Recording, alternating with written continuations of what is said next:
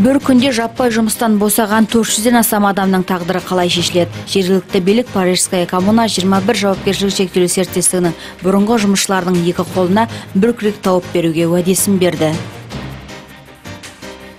Қобда ауданындағы тоғандардың бірінде балықтар қырылды жағадан 4 тоннадай өлексе жиналды. Қаладағы қоқыс полигоны тегін қызмет ұсынып отыр. Тазалық айында қоқыс тапсырғандардан ақы талап етілмейді.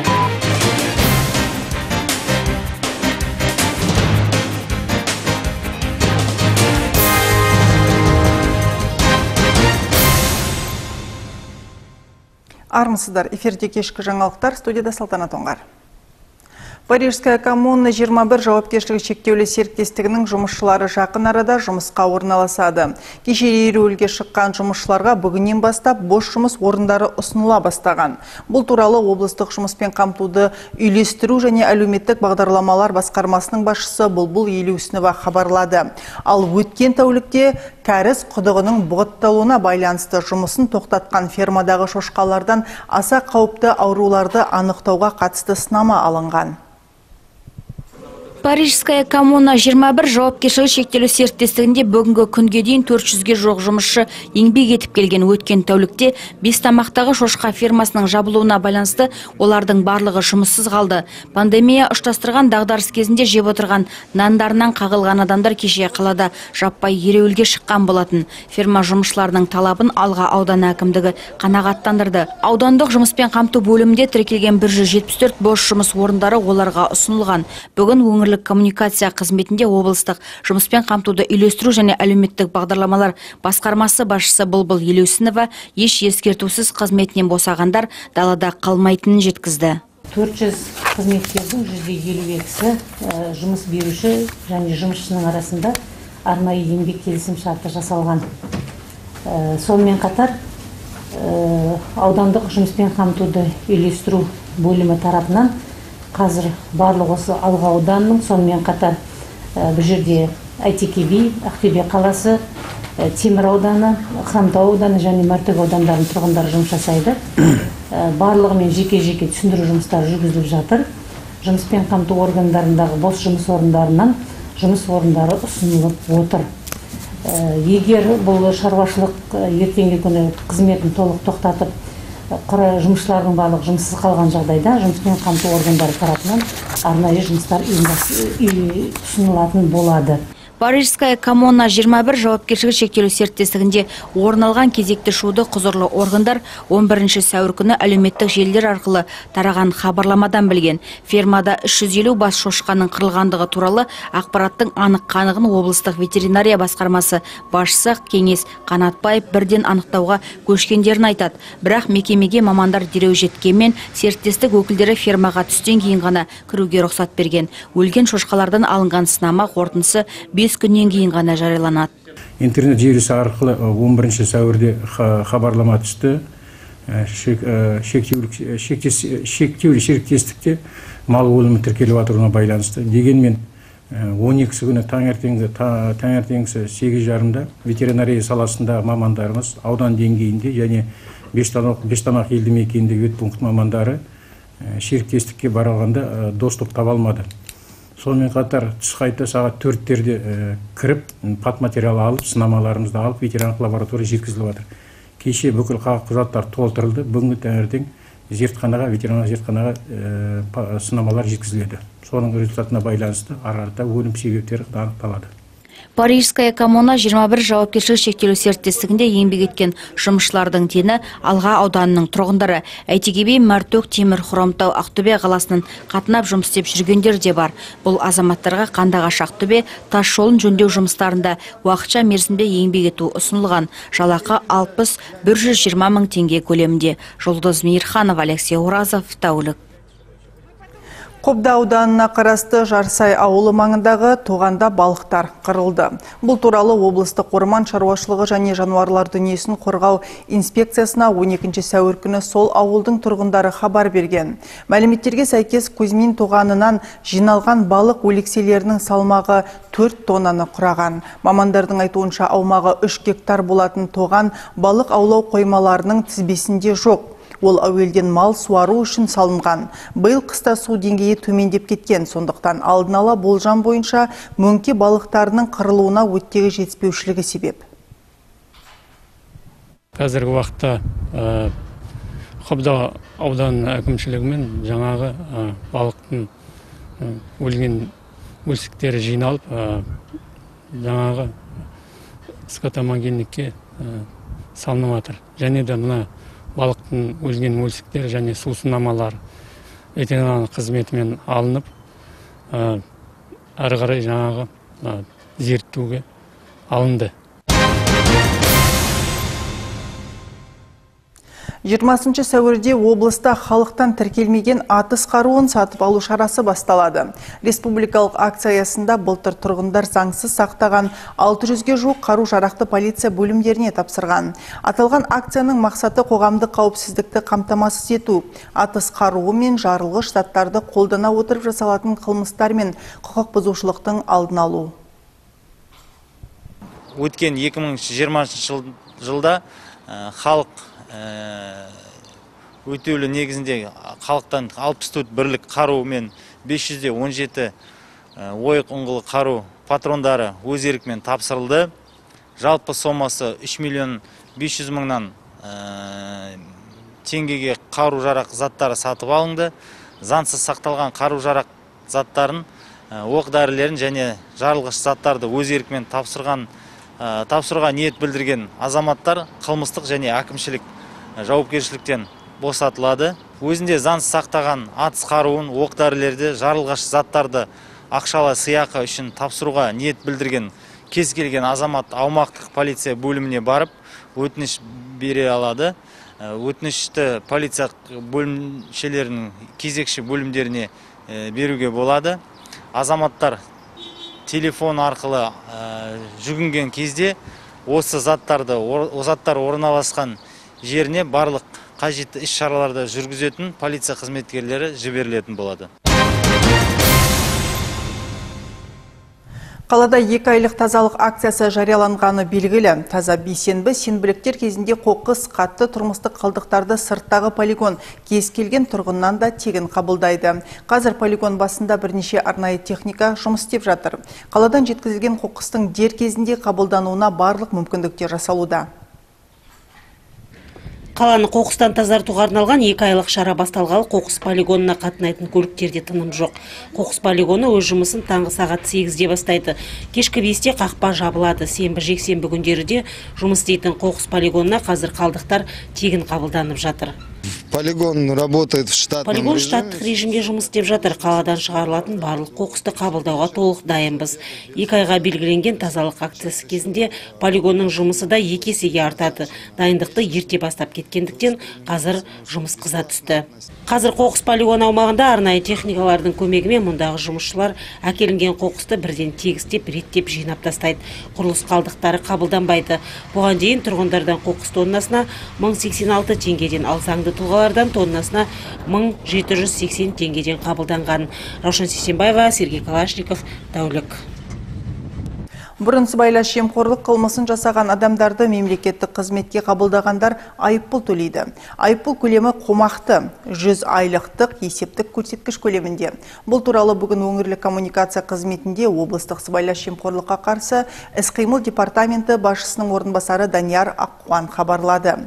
Сондай-ақ тікелей немесе делдал арқылы материалдық сыйақы сыйлық алғандарға 200 айлық есептік көрсеткіш көлемінде айыппұл салынады. Бұл 600 мың теңге көлемінде.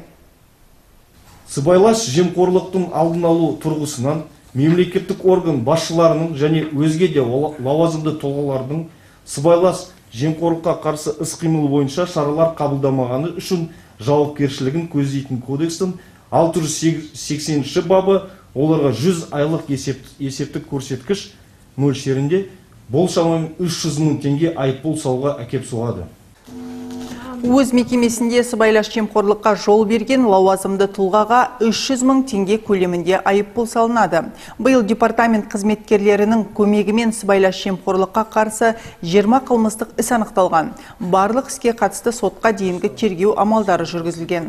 Бюджет қаражатын жымқырған 4 адам қамауға алынған. 6 миллион теңге алды деп айып тағылған. Бір шенеуніктің үстінен қылмыстық іс қозғалуда.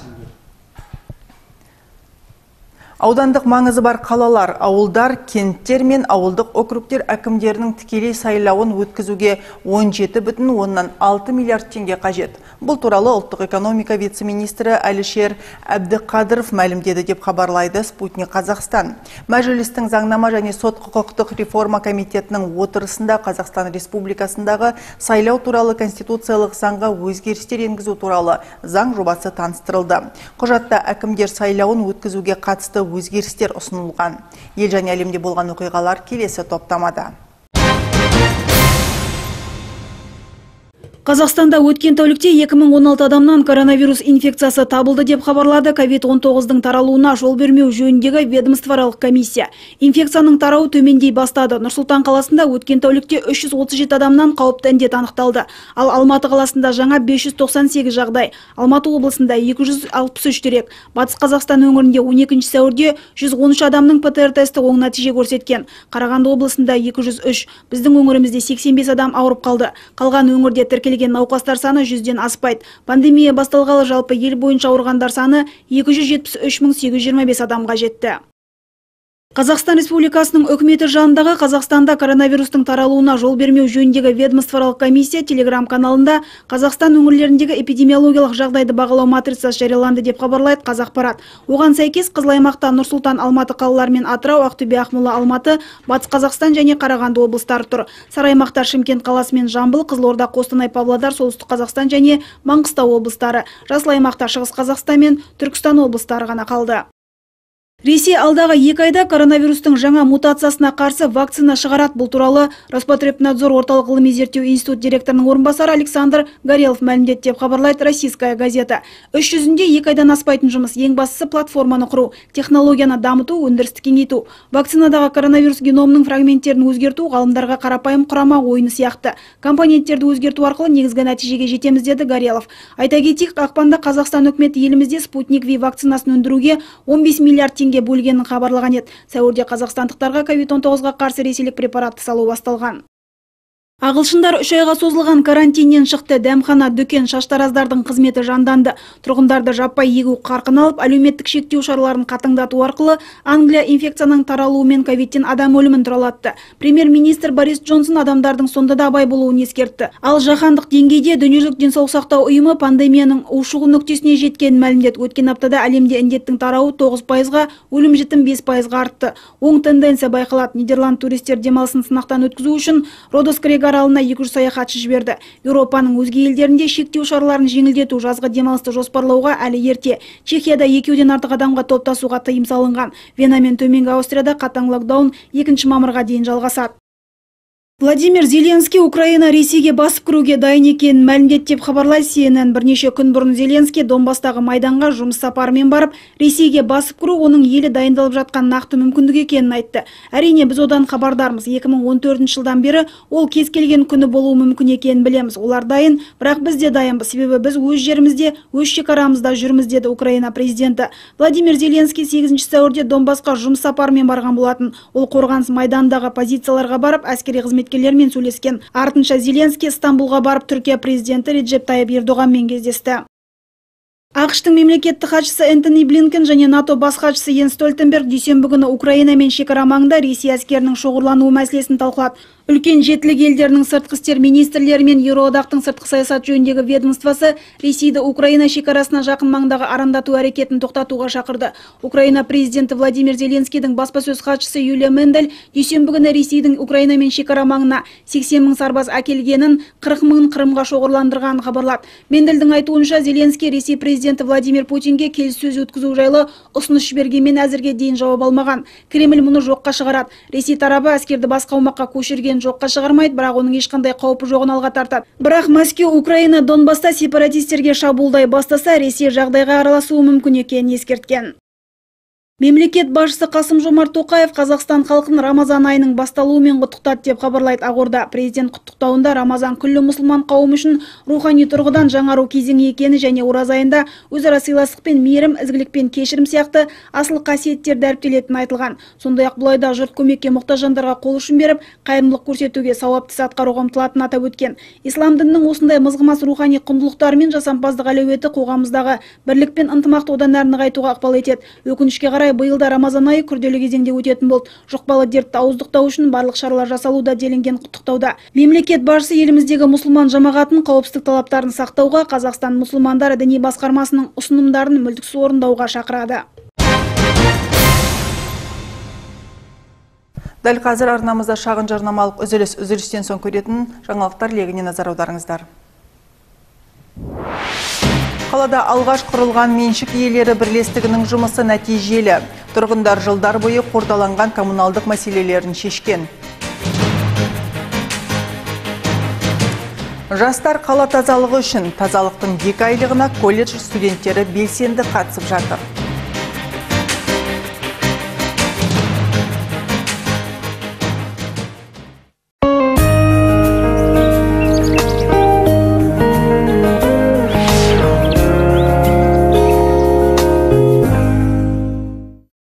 Мінсіз дәмнің бәрі ашы. Аңызға айналған ашы ынтық аса татымды тауық сирақтары. Жаңа дәмді ашы сирақтары 400 теңгеден басталады. Тек қана KFC-де. Рахат дегеніміз бақыттың қуатында екені дәлелденген. Өзіңізді және жақындарыңызды эспрессо кофейнясының тіл үйрерлік тәттілерімен еркелетіңіз. Торттардың кең таңдауы, кез келген талғамға сәйкес дайыны және тапсырыспен жасалады. Джем қосылған пирогтар және дәмді пицца. Мереке мен қарапайым күнде де қуаныш сыйлаңыз. Эспрессо кофейнясы Локомотив кинотеатрында. Сіз жай ғана жарнама бергіңіз келе ме? Күрделі прайссыз, артық сандар мен нұсқаулықсыз. Ақыры таңдаудан шаршадыңыз ба? Бізге сіз жеңіл есептесе аласыз. Не бары үш жарияланым пакеті. Үнемді, ыңғайлы, сыйымен Рика медиа тобының жарнама қызметімен ойыңызды кәсібіңіз үшін босатыңыз. Қарапайым ұсыныс, дұрыс шешім. Анықтама телефоны 220 250 222 300.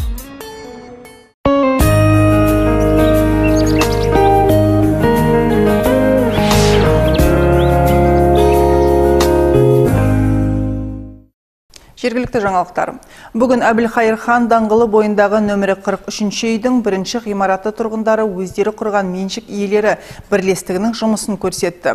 Бірлестік өткен жылы қазанда құрылды. Жиналған қаражат тұрғындардың шешімімен көп қатарлы үйдің қажеттіліктеріне және жөндеу жұмыстарына жұмсалды. Жарты жылдың ішінде тұрғындар өздері тұратын үйге біршама оң өзгерістер әкелген. Мәселен, екі жыл бұрын істен шыққан жедел сатыны қайта жаңартқан. Бұл өзгеріске әсіресе үйдің қарттары риза. Бұл көп қабатты жарты ғасыр бұрын салынған. Тұрғындар меншік иелері бірлестігі құрылғалы көзіміз ашылды дейді. Олар Ақтөбеде меншік иелері бірлестігін бірінші болып құрған. У нас были разные формы управления. Бұрын бізде қорды басқару түрліше жүргізілді. Сервистік қызмет көрсету дегеннің аты барда туындаған мәселе түпкілікті шешілмейтін. Айтылады, тыңдалады. Нәтиже жоқ. Мәселен, үйіміз қыста суық, шатырымыз жыртық. Лифт екі жыл бойы жұмыс жасамай тұрды. Меншік иелері бірлестігін құрып, жағдайымызды түзей бастадық. Жедел саты болмаған уақытта жоғары қабаттарда тұратын балалы отбасылар мен қариялар қиналды. Ескі лифт орнына су жаңасы орнатылған. Жедел саты жоғары төмен сырғып тұр. Бұл баяғыда компания болған кезде біз тоже ақшасын бәрін төлеп отырдық. Ол кезде жаңандегі біздің айтқанымызбен даже отопление жылу нелер ауысып бәрі полностью істелінген жоқ сонымен жаңандегі өзіміз оси құрып өзіміз қолға алып осы жерде тұратын тұрғылықты әр адам бәріміз жиналып өзіміз отопленияны бірінші істедік. Одан қалып бара жатса жаңандегі громоотвод бар ма? Үстіндегі плита жанында тұрды альпинист шақырып істеттік ортада жаңағындегі асылып тұрған сымдардың бәрі қазақ телекомдікі билайндікі солардың бәріне шахтасын істеттікіздік өзіміз жиналып жүріп бар осы көршілер жиналып отырып соның арқасында жаңағындегі председатель осимен бірге ә, лифтті құрдық жаңа лифт құрдық. Жаңа лифтті бізге құрғанда жаңандегі оны ә, неге берді? Бізге ә, кредитке берді. Жедел саты несиеге қондырылған. Тұрғындар қарызды 10 жыл ішінде төлеуге келіскен. Үйде барлығы 34 пәтер бар. 9 миллион 100 мың теңге несиені жабу үшін әр пәтерден айына 2700 теңгеден жиналады. Когда мы создали ОСИ, бірлестік құрылғалы бірнеше коммуналдық мәселеміз шешімін тапты. Су құбырларын толық ауыстырдық. Енді үйдің келбетін ретке келтіруге кірісеміз. Жарты жыл ішінде подъездердің едені қалпына келіп электр желілері қапталған. Қалалық тұрғын үй инспекциясының меңгерушісі ақнұр қазыбаеваның сөзінше мына адамдардың бастамасы қаладағы барлық көп қатарлы тұрғын үйлерге үлгі болуы керек. Айта кету керек меншік иелері бірлестігі үйдегі тұрғындардың жетпіс пайызы келіскенде ғана құрылады. Көбісі осы көппәтерлі тұрғын үйдің жаңағы төбесі мына подъезі дәлізі подвалы жаңа өзін қоршаған үйдің аумағы ол тұрғындардың ортақ мүлкі болып табылады ол осы қазақстан республикасының тұрғын үй қатынастар заңының екінші статьясы бар соның он төртінші пунктте жазылған көбісі біздің тұрғындар түсінбейді жаңа келіп акимат менің төбемді жұмсап ә, төбеме ремонт жасап бер или жаңа ауламызды жаңа келіп жаңа не істеп бер сырлап әктеп бер или подъездімізге ремонт жасап бер деп ә, ол тұрғындардың ортақ мүлкі. Және де ол ортақ мүлкіне олар осы жаңағы басқару органын құра отырып ол жұмыстарды жүргізеді. Әбілқайыр хан даңғылында 43-ші үйдің тұрғындары енді үйлерінің сыртын қаптатқысы келеді. Ол үшін қалалық әкімдіктен көмек сұрап отыр. Үйдің сыртқы сызбасы қалалық сәулет бөліміне жолданды. Әйгерім есмырза жасұлан жұбаев тәулік. Жастармен бір топ еріктілер құрамы шахар көшелерін тазалауға шықты. Белсенді жастар бүгін Батыс екі ауданындағы көпқабатты үйлердің ауласын тазалап, арықтарды қоқыс қалдықтарынан арылтты. Екі айлық акцияға барлық орта арнаулы оқу орындарының студенттері жұмылдырылған. Карантиндік шектеулерге байланысты бүгінгі сенбілікте 25 адамнан құралған студенттер мен еріктілер тобы еңбек етті. Ақтөбе қаласы әкімі асхат перлешұлының бастамасымен қала көлемінде жүргізіліп жатырған екі айлық тазалық жұмыстарына бүгін ақтөбе қаласының волонтерлары соның ішінде экологиялық бағытта жұмыстанатын волонтерлар бүгін батыс екі мөлтек ауданында тазалық жұмыстарын жүргізуде. Жалпы бұл жұмыс біздің жұмысымыздың барысы қала тұрғындарына тазалықты сақтау қаламызды таза ұстауды үгіт насихат жүргізу және жастар арасында эко мәдениетті қалыптастыру. Қазіргі таңда біздің 25 волонтеріміз екі топқа бөлініп осы батыс екі мөлтек ауданында жұмыстар жүргізуде. Жаппай екі айлық тазалық науқанына байланысты қалалық жастар ресурстық орталығы әлеуметтік парақшалар арқылы өтінім қабылдайды. Яғни шаһар тұрғындары бұл парақшаларға қатты ластанған аумақтар көшелер тіпті көпқабатты үйлердің мекенжайын жазалады. Сурет пен бейне жазба жіберу міндетті. Осы мәліметтер бойынша студенттер мен еріктілер тобы сенбіліктер өткізетін орындарын белгілейтін болады. Қала жүргізушілері көліктерінің дөңгелектерін қыстықтан жаздыққа ауыстыра бастады. Автоқосалқы бөлшектер сататын дүкендерде бір дана дөңгелек бағасы 6000 теңгеден жоғары. Дөңгелектерді ауыстыру қалпына келтіру жуу да ақылы. Қысқы және жазғы дөңгелектердің айырмашылығы тікендерінде ғана емес химиялық құрамы жасалуында да ерекшелік бар. Сондықтан маусым сайын көліктердің дөңгелектерін ауыстыратын тұрған абзал. Қазіргі салондарға тәулігіне 30 көліктен келіп жатыр. Мамандардың айтуынша дөңгелектердің жарамдылық мерзімін арттыру үшін әр 8000 шақырым сайын олардың орнын ауыстырып отыру керек.